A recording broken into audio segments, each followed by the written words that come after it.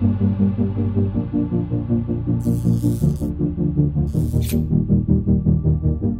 I remember correctly, I think I was 16 years old when I bought my first interface. Actually, my stepdad bought it for me. Thank you. For if you're watching this, you're probably not watching this. I remember being 16 and figuring out that this thing was going to allow me to put microphones on my whatever I wanted to put them on, drums, of course, and take that high quality audio and funnel it into my computer. So for anyone who's not familiar with what an audio interface is, it's essentially the modern way to capture audio, to record audio. We used to use tape machines and record to tape. Now we can use audio interfaces and record to files. Now fast forward 14 years later, I've used a ton of audio interfaces. I've gone from home recording to uh, recording school to internship to working at a commercial studio for five years. I've actually worked in a lot of commercial studios and then a private commercial studio and then ironically back to home recording. Through all of those studios, I've gotten to use audio interfaces that have built-in mic pre's to just a to D, D to A converters, everything in between. Which leads me to now. So when I invest in something like an audio interface, I'm not thinking, oh, this will be good for now. I'm thinking, this is something that's expandable. This is something that's to be able to grow and develop and constantly be updated and stand the test of time and make my life easier. So in this video, I'm not only to talk about the Apollo X, but also how I use it now and as I build this studio that I want long term how this will be the perfect system for it. Also, Universal Audio just put out the API Vision console release for Luna, which really ties into this whole conversation as to why this, to me, is the sleeper of all the companies.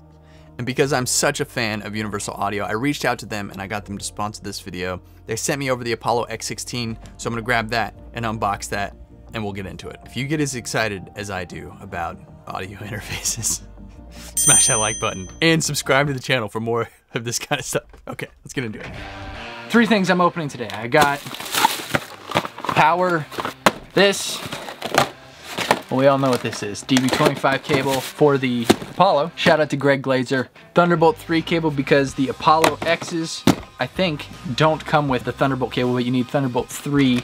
This is the Apollo X 16 and it is the Heritage Edition. So this is not my first Apollo X interface. The first interface that I got was the Apollo X8P.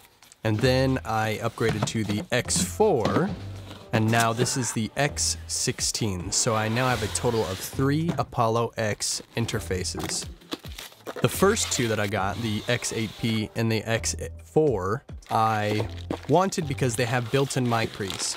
Now this interface has no built-in mic pre's. So the point of this one is to expand my collection of outboard mic pre's finding a good system that makes sense is always a little tricky. The way to plan a patch bay is to make the labels first and plan the labeling and then connect it.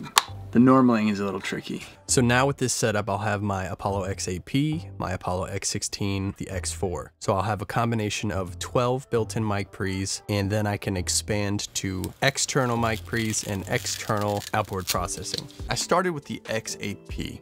And the reason I started with that is because I'm a drummer and I want to be at least be able to plug in eight microphones. And then I added the X4 because I wanted four more of the unison mic pre's. Now, basically what Universal Audio did is they created fantastic emulations of historic vintage channels and preamps. Funny enough, after I bought the X8P, it took me a long time to really discover how much you can do with it. The big ticket for me discovering that was learning how to use the software that comes with the interface called Console. In hindsight, this all seems so straightforward. Console is a software version of a console. Because this is a single rack space unit, all of the preamps and all of the controls are mostly in software. That's where the real fun is. Now you can control everything you need to control from the front, but there's so much power inside console that I just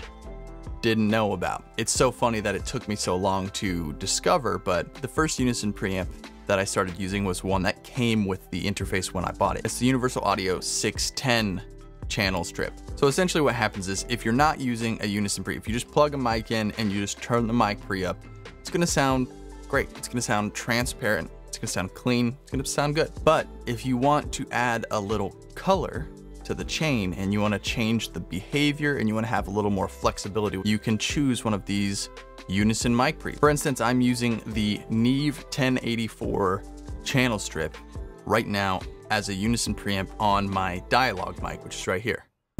It sounds great and it behaves just like Neve 1084 channel strip would. And it's great because I'm familiar with all of these frequencies in the EQ chain. I'm familiar with the behavior and the, the gain staging of the preamp. They've done it with consoles, preamps, EQs, compressors, guitar amps, bass amps. They've done it with pedals. They've done it with old effects units. Now, one of the cool things about using their plugins, which are one, just fantastic, but they're not processed by your computer.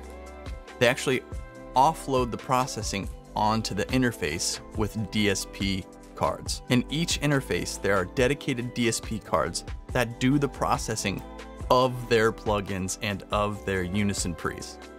And being able to offload that from your computer frees up your computer to be able to process everything else, which keeps things moving smoother when you're working. And I, all of this, everything that I do for my work, for my studio, is designed to make the actual process of getting in there and doing it smoother and more fun and sound better and be more easy for me to not be bogged down in in any of the technical stuff, but be more focused on the creative music side of it and make sure I'm capturing what I want and getting the sounds that I want and not having to worry about, oh, there's too much processing or this or that. That's fantastic. And between the three of these interfaces, there's a lot of DSP cards. so the next thing that I absolutely love is that they decided to make their own DAW. So the software is called Luna, right?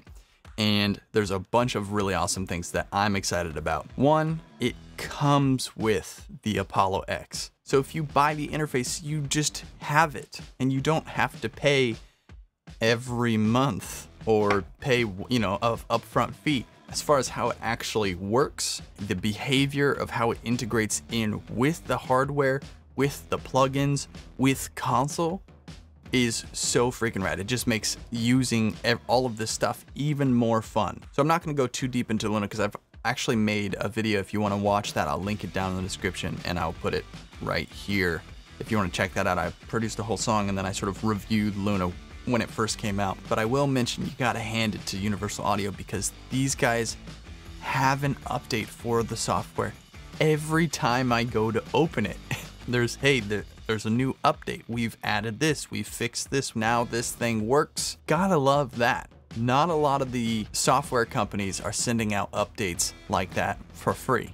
Again, free, plus updates all the time. So rad. So at the end of the day, it's not the plugins, it's not this, it's it's everything. The low latency monitoring, the ease of they're just making my life easier.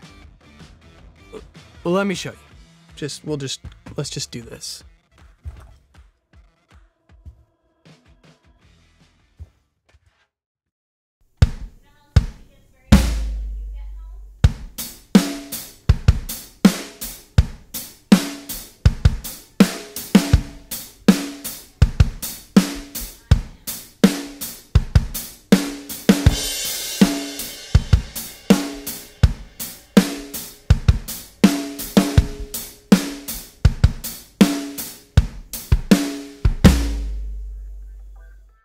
So let's take a look at the drums here. I went ahead and cleaned up the toms a little bit. Let's see, I'm using the API Vision console on everything. This is the mix window. You can see each section of the mix window is sort of in these little tabs. You have your inputs.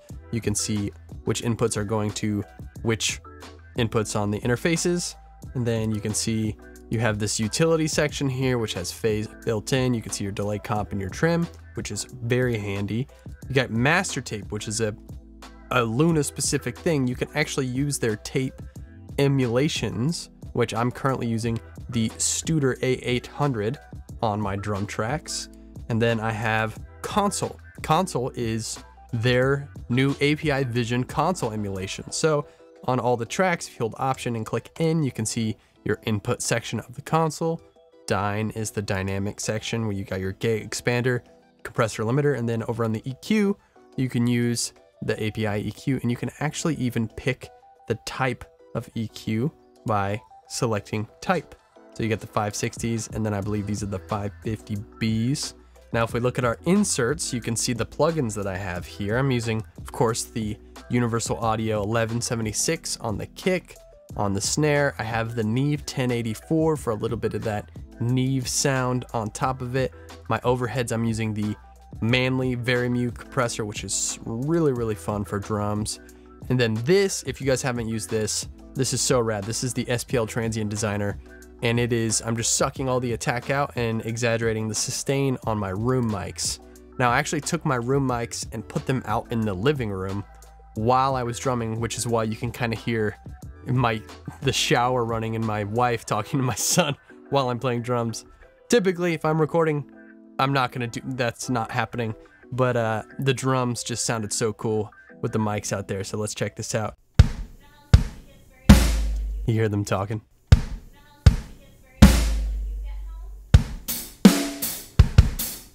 Let's go ahead and listen to some of these drums. These are the close mics on the kit in this room.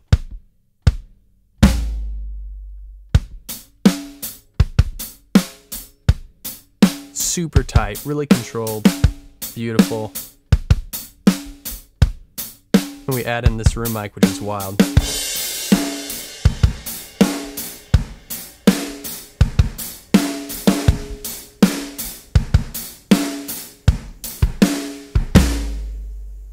This is the room mic on its own.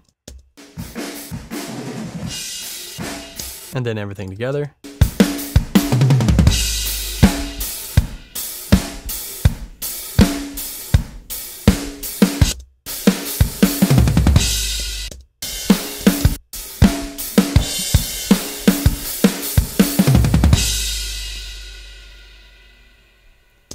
Pretty awesome. This was literally just an impromptu, me screwing around, playing some all-time low. I threw some mics out in the living room. You can literally hear the shower running because I'm just doing this for fun. But I used all of the unison pre's that are built into the Apollo X interfaces, going into Luna, using the new API Vision console, which sounds so rad. Really great that it's all just built into the software. There's a bunch of beautiful instruments that you can add on, a bunch of different features, obviously, that you can purchase from Universal Audio and build up your rig. Absolutely love it. Great job, Universal Audio. If you guys are looking to pick these up, obviously, links for all this stuff down in the description. It's a great way to support my channel, and I genuinely wouldn't make this video or talk about this stuff if I didn't personally use it and believe in it. I've used a lot of different other products and I just happen to want what I think is the best and the best for me and what I'm doing. And if you guys have seen the studio tours, you guys have seen these in almost every single studio that I go to. They're absolutely great. So again, links in the description if you guys are looking to pick these up. If you use the link to purchase one of these interfaces, it's a great way to support the channel. They're affiliate links. They help me. They support Sweetwater. They obviously Universal Audio loves it. So thank you guys for watching this. If you guys have any questions, let me know down in the comments. I'm a big fan. There's a million other things that I want to get into, but I don't want this video to take forever. By the way, if you're still here and you made it this far, thank you. Seriously, thank you. The reason I'm making this is because I talk to my friends and people that I know about getting this, and it's hard to just put everything into one conversation and to have that conversation a thousand times. So I figured I'd just make a great video putting all of it here. So if you made it this far, let me know down in the comments what you're using, if you have any of these, what your favorite UAD plugins are. Make sure to hit the subscribe button if you want to see more videos like this. Obviously, smash the like button for the YouTube algorithm, and I will see you in the next video. Peace.